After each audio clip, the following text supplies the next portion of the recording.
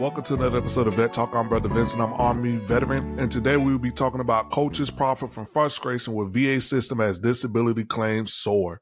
But before we get into that, please like, share, subscribe, hit the notification bell. You can find more content for Vet Talk on YouTube, Twitter, LinkedIn, and Reddit for more content. And to all veterans who would love to share your stories or resource for veterans, and non-veterans who would love to share your resource for veterans, please feel free to contact me ASAP so we can schedule a meeting. Now that we gotten that out the way, let's get into this topic. So again, we're talking about coaches profit from frustration with VA system as disability claims soar. So what I'm finna do is I'm about to show you an actual article from the Texas Tribune. And basically what is happening is there are politicians or within the VA system that are targeting VA claims insiders because of some issues that they take with VA claims insiders due to the fact that there are non accredited VA organization that help veterans. And I did a video talking about advocates and VSOs. And I was trying to put this information out some months ago so that veterans would be aware. I didn't want to specifically target VA claims insiders because what I want to say is like, I honestly believe what they're doing is a good job. I believe that how they're helping veterans is a good thing. Um, do I feel like they should charge veterans for service? If they're not accredited, then I would believe that they should because that's the only way that companies like that will survive. Um, because although yes, I know that there are companies that do it for free, the thing about those companies are they are being paid by the government to do it for free. So it's not like they necessarily doing it totally for free. They're being paid in the background to assist and help veterans versus in the forefront, like VA Claim Insiders, amongst other veteran organizations that help out veterans. So, you know, where people are crying and saying that they're wrong for helping, to a certain degree, I hear that. And then to another point, I kind of agree with what they're doing a little bit because I remember when I tried to reach out to a free organization and because those organizations don't hire much, um, and I know because I've tried to apply to countless amounts of veteran organizations that help out with some of these things that they have going on because I know a little bit or a lot about VA claims, um, there's really no opportunities to, you know, get help. And a lot of these unaccredited companies, they have countless amount of people that they have hired, given jobs that are veterans. They have all the help and resources to be able to help veterans.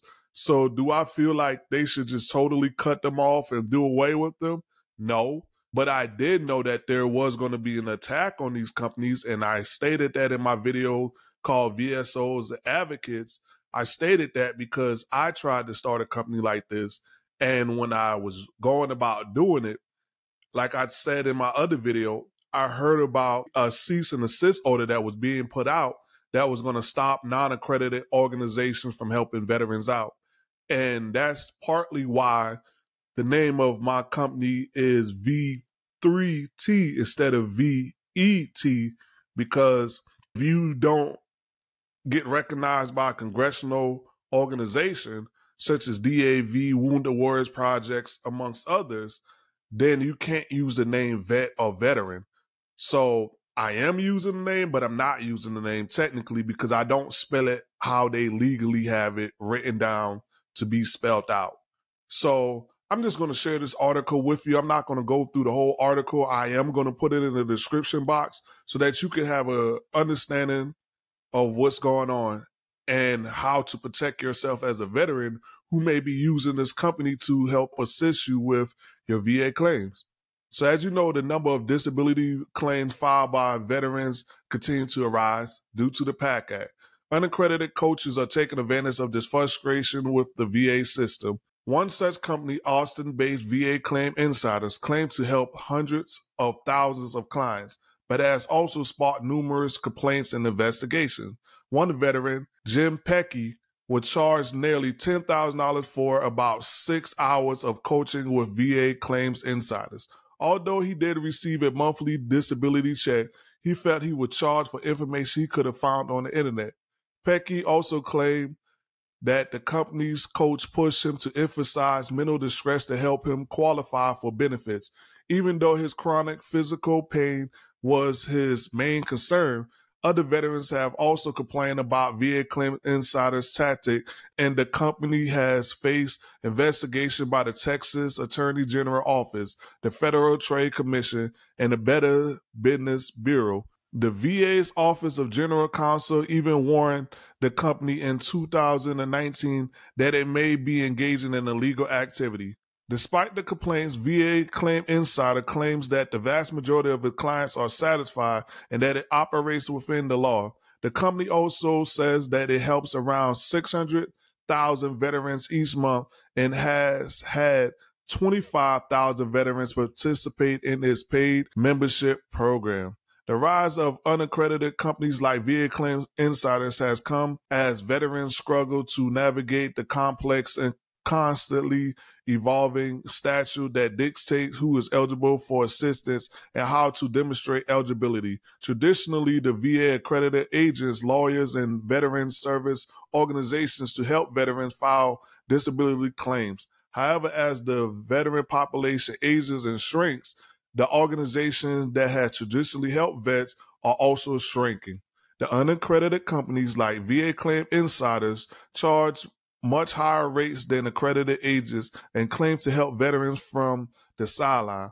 While some veterans have turned to these companies after being failed by accredited agents, others are happy to pay steep prices for getting generous benefits. As the number of claims filed by the VA continues to grow, so does the need for assistance in navigating the system. However, veterans should be cautious when seeking help from unaccredited companies like VA Claim Insiders and consider seeking assistance from accredited agents or veteran service organizations instead. So I agree with a lot of what they're saying, but then I also rebut a lot of what they're saying because at the end of the day, like I said, I believe that if companies like VA Claim Insiders are helping veterans out, then I don't feel like they should totally abandon companies like this. But what I do think should happen, and what I do believe should happen, um, I believe that somehow VA Claim Insiders should receive recognition as a congressional recognized organization to help out with what's going on. But I pretty much understand that because it's a veteran ran organization, I'm assuming that VA Claim Insiders will want nothing to do with, you know, actual being accredited by the VA or any congressional recognized organization due to the fact that they may feel like they may be underpaid, which would cause them to be understaffed. I don't have a full understanding as to why they don't go about trying to be accredited. And maybe it was something that, you know, they were doing like how I was doing. They were just putting in the work. And because, you know, their clientele grew, they just, you know, kept going along the lines of helping veterans out and being compensated for their efforts um with helping veterans. And you know, my thing is kudos to them, man. I'm not going to take away from what they're doing, but what I also will say to all of the veterans who are using them, if the company is coming under scrutiny, then I'm pretty sure at some point if there's ways for them to do it and it's just one of those knock on wood things that it don't happen, they may start, you know, coming after people who use these companies or denying claims from people who use these, you know, organizations to help them out. What I believe they're doing is they're coming after companies like this or here who aren't congressionally all recognized and they're basically dismantling what they're doing, which would slim the chances for veterans, you know, receiving um compensation monetary compensation for their disabilities. And this is one of the ways that you can go about doing this. So you know just make sure you be careful when you out there filing and fighting for your va claims. So you know as always man this has been another episode with your boy brother vince from vet talk. My good people vet talk out